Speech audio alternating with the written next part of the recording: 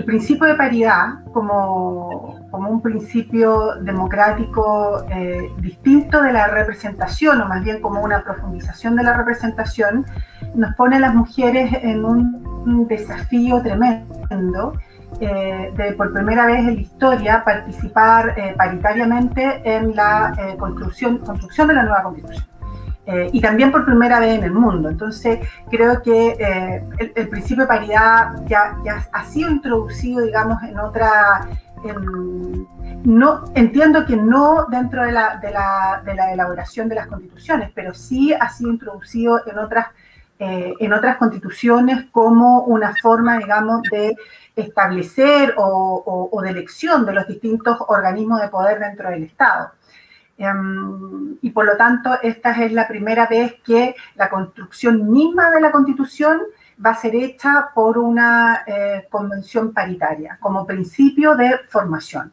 y por lo tanto yo creo que nos pone a las mujeres en un tremendo desafío de no quedarnos esta vez solo con esta eh, paridad de inicio en la conformación de la, de la convención paritaria, sino que también que la paridad como principio constitucional, como principio de participación esencial en la profundización de la democracia, también pueda eh, traducirse en cómo se construye eh, las formas de poder político y, pasar no solo de, una, de la presencia de las mujeres, sino que a una nueva distribución del poder en general. Lo que yo puedo aportar es desde, eh, desde mi expertise, que tiene que ver con la persecución penal, con la formación del Ministerio Público, y ahí yo creo que eh, la, paridad, además, como ya no solo en, en, en un tema electoral, ¿no? ya no solo como una cuota, que siempre fue entendido además como una, como una etapa de transición, como medidas de transición, como medidas positivas, sino que la paridad como un principio fundamental de la estructura democrática y también de la conformación de todos los poderes públicos, eh, el Ministerio Público también debería ser, en mi opinión es algo que claramente está en discusión, pero siendo el Ministerio Público junto con el Poder Judicial y los otros poderes del Estado, eh, parte fundamental de la estructura del poder estatal, creo que también debería existir paridad en su conformación y es algo que, por supuesto, debería ser parte de la discusión, eh, de la próxima discusión constitucional. Ahora, como, como explico, no solo se trata de una repartición, yo entiendo la paridad, que además es algo que estamos conociendo, que estamos aprendiendo, que está además en pleno desarrollo y donde probablemente tengo más entusiasmo que conocimientos teóricos al respecto, pero yo entiendo la paridad no solo como una distribución de cargos, eh, que eso sería el inicio, ¿no? Sino que además como una nueva, eh, como una, una, nueva forma de distribuir el poder, el poder político en, más, en el más amplio sentido de la palabra. Eh, y por lo tanto, ¿y por qué es relevante? Porque la, la, la, la demografía, el ser mujer es una de las formas de existencia del ser humano. Y hasta ahora solo teníamos reflejado en la distribución del poder la existencia masculina y la presencia de las mujeres casi como, como pidiendo permiso, ¿no? como dejando un pequeño espacio, eh, ganar el derecho a voto, como, como, como, pidiendo permiso para ocupar espacio. Y hoy día eh, debería entenderse que no hay democracia eh, participativa si no, es que, si no es con la presencia paritaria de las mujeres. Y esto además debería extenderse hacia todos los ámbitos de toma de decisiones relevantes, incluido también a lo mejor eh, el mundo privado. Hoy día vemos que está, se está instalando ya también la discusión de cómo los directorios de las empresas también tendrían que ser paritarios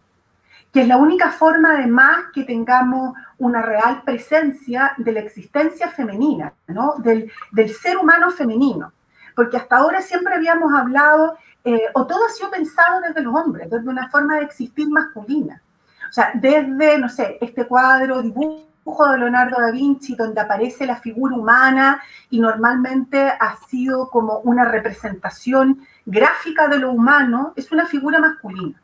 Y todo ha sido pensado desde el ser humano hombre, hasta cómo se construyen las calles, cómo se construyen las ciudades, eh, ahora que estamos en pandemia, cómo se construye la salud pública. Los primeros estudios durante gran parte del siglo XX, cuando se analizaban probablemente epidemia, o, bueno, yo no soy, no, soy del área de salud, ¿no? Todo esto lo he leído, pero eh, cuando se, se, hacían como estudios demográficos desde el punto sanitario, probablemente se estudiaban a los hombres, por ejemplo, las enfermedades laborales, eh, y por lo tanto, como lo femenino, como existencia de más del 50% de la humanidad, no era considerado. Y por lo tanto, hoy día eh, lo humano es femenino y es masculino. Y por lo tanto, tenemos que eh, comenzar a pensarnos de una manera distinta. Ahora, esto como presupuesto básico, esto no asegura nada, ¿no? No es solo eh, seamos mitad y mitad, sino que también nos invita a pensar, y ahora desde lo mío, la justicia de una manera distinta. ¿No? Y la justicia penal, que aún más propiamente lo mío, eh, tiene que mirarse con un prisma distinto y eso tiene que profundizarse con fuerza. Que ya lo estamos haciendo, ¿no? Pero eso se tiene que profundizar. Porque ¿qué es hacer justicia con perspectiva de género? Y, en el, y, y más en lo nuestro, que es el Ministerio Público, ¿qué es investigar con perspectiva de género? Es hacerlo con un nuevo prisma no es solo eh, tener una sensibilidad especial, ¿no? Una sensibilidad especial con las mujeres víctimas, con las víctimas de violencia de género, etcétera, sino que esto parte de un marco conceptual distinto que cambia absolutamente los paradigmas sobre los cuales nosotros anclábamos la forma que teníamos de investigar, de litigar y también de invitar a los jueces a a razonar de una manera distinta, ¿no? Nos cambia los paradigmas en que investigamos, en que nos acercamos al sitio del suceso, en que formamos el acervo probatorio, en que incluso la, estructura misma de, lo que es la esencia finalmente del, del, razonar del juez y donde nosotros como, como fiscalía los invitamos al final de un juicio a razonar de una manera distinta, cambia también las formas en que entendemos las reglas de la lógica, las máximas de experiencia, los principios científicamente afianzados, porque estos tampoco han sido neutros. Estos han sido configurados eh, dentro de una sociedad llena de sesgos, ¿no? llena de sesgos y, con, y con visiones rígidas de lo que se entiende por mujer, lo que se entiende por hombre y también de una estructura social que se ha fundado con una desigual eh, distribución de poder entre hombre y mujer. Eh, y por lo tanto, esta es una mirada totalmente completa. No solo es una, es una sensibilidad distinta, sino que necesitamos un marco teórico distinto y entender que aquellos imputados que nosotros investigamos, acusamos y el Poder Judicial condena, han sido socializados en una, en una estructura de poder, en una estructura social, finalmente el patriarcado, que, que, que se ancla dentro de su esencia en, distribución desigual del poder entre hombres y mujeres. Y lo mismo esas mujeres eh, a quienes nosotros eh, tenemos que proteger y tenemos que, defender finalmente en su, interés particular eh, en, en, el juicio en concreto y también su, su interés colectivo dentro de las políticas de persecución que nosotros definamos. Pero básicamente, no sé si me logro explicar, eso sería como la, perspectiva de género dentro del área de la investigación. Ahora, eso por un lado de, lo que es nuestra ser, nuestra función, pero también como, como, como, como órgano, ¿no? como, como cuerpo, como cuerpo que de alguna manera también eh, ejerce el poder político de alguna manera, porque eh, hacer justicia y, ser parte del sistema de justicia también eh, es una forma de desarrollar políticas, ¿no? Políticas en concreto de, persecución. Y por lo tanto, la conformación de ese órgano creemos que también eh, debería haber una configuración paritaria de su, de su formación, de su integración. No solo en cómo se eligen, sino que permitir que las mujeres participen, sino que también finalmente con, con, ciertas formas de, arreglo, que sí lo tiene ahora la constitución de la convención paritaria, eh, que permitan que la, la, estructura al interior de los poderes del Estado, incluido el Ministerio Público, pueda tener finalmente una conformación paritaria.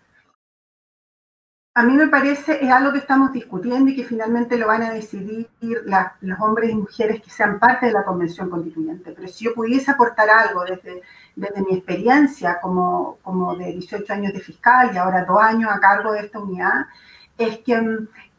cuando, cuando se configura el Ministerio Público o todo lo que tenga que ver con el acceso a la justicia, y, particularmente el Ministerio Público, que tenemos el, el, monopolio de la persecución penal, ¿no? Esa es nuestra labor fundamental, dirigir en forma exclusiva la persecución penal y ejercer la acción penal pública, que la, obligatoriedad de que la perspectiva, la, que, la, que, que, esta, que esta que es nuestra función fundamental, que es el ejercicio de la acción penal y la investigación de los delitos, tiene que hacerse con perspectiva de género. En el entendido que la, perspectiva de género requiere lo que yo te señalaba, un marco conceptual y teórico distinto que requiere modificar los paradigmas sobre los cuales hemos orientado toda nuestra práctica investigativa y de litigación y respecto de los jueces, la, la, la práctica de resolver a través de la sentencia los distintos conflictos, en este caso el conflicto penal. ¿no? Y que los jueces hoy día, jueces y juezas, eh, invitados por los fiscales, probablemente en sus alegatos de clausura, ¿no? Donde le dicen al juez, le, hacen un resumen de todas sus presentaciones y le hacen la petición final al tribunal, los inviten a una nueva forma de racionalidad, que finalmente esa, esa es la sentencia, ¿no? Donde, eh, donde ellos incorporen que en la valoración de la prueba, eh, que en esta construcción de la sentencia, en el minuto de valorar la prueba, de, cómo van conformando para también justificarla, por qué resuelven de, una manera u otra, um, y también cómo, cómo, analizan la prueba ilícita, o sea, temas que son súper importantes dentro, dentro del razonamiento judicial y dentro de la litigación en general, cómo se forma el acervo, cómo se conforma el acervo probatorio, eh, la, noción, la prueba ilícita, que tiene que, en, la violencia de género, por ejemplo, tiene hartas em, implicancias también, sobre todo cuando probablemente en la mayoría de los delitos en que las víctimas son mujeres, los delitos sexuales, la violencia de género, normalmente la única, el, el, medio de prueba más trascendental y muchas veces único es el testimonio de la víctima, ¿no? Y por lo tanto ahí tenemos que tener una, una invitación a una nueva definición de los contornos mismos de eh, en que se funda la sentencia, ¿no? que son las reglas, las reglas de la lógica, las máximas de experiencia, los mismos conocimientos científicos, entendiendo en realidad que los jugadores, jueces y juezas, los fiscales, fiscales y fiscales, los defensores y las defensoras, son parte de una sociedad y una cultura, también pertenecemos a una cultura y una sociedad que está plagada de prejuicio, arquetipo y preconcepciones sobre el rol y lugar de las mujeres en la sociedad. Y por lo tanto, creo que eh, así como deberían quedar principios como el principio de autonomía, cosas que se van a discutir, no, sé si van a permanecer, pero no sé, podría ser, ¿no? Uno y otro. Creo que la autonomía es uno de los principios que debería eh, permanecer, eh, la imparcialidad de los jueces, la objetividad de los fiscales, la perspectiva de género, transversal como un principio fundamental de investigativa de todos los delitos y dentro de la labor de juzgar de los jueces. O sea, investigar con perspectiva de género y juzgar con perspectiva de género como un principio fundamental y que yo creo que debería quedar en la Constitución.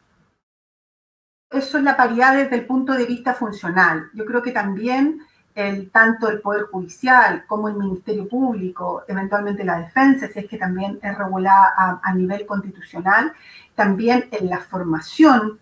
en, en, cómo se integran estos órganos en instituciones, también debería estar marcado por la paridad, como una cuestión principal de justicia. O sea, ¿por qué tienen que haber más mujeres? Fundamentalmente porque es más justo no, no, no a ir a porque somos mejores, porque tenemos una sensibilidad especial. Primero y básico, porque somos la mitad de la humanidad y en muchos casos la mitad más uno. Y por lo tanto, esta, esta, esta constatación demográfica debe, debe tener una representación también en todos los órganos de decisión eh,